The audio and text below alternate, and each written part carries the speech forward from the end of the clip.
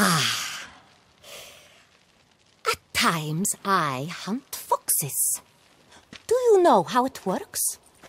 The ducal huntsman releases the hounds.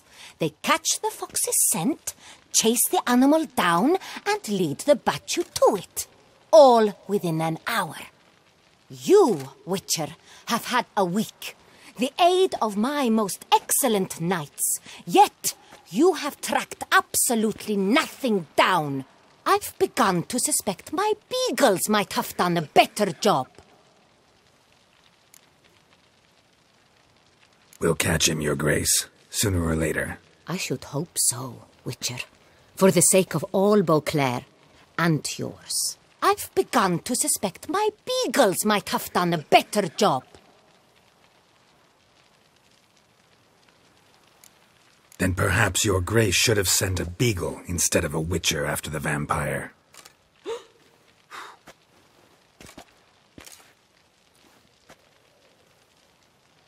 You tread on thin ice, Witcher. Very thin. Wisdom demands you choose your words more cautiously. But at times I hunt foxes. Allow me to point out certain subtle but essential differences between a higher vampire and a fox, or game in general.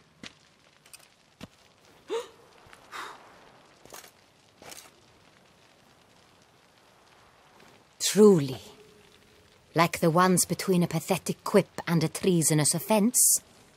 Watch your words, Witcher. But to the matter at hand.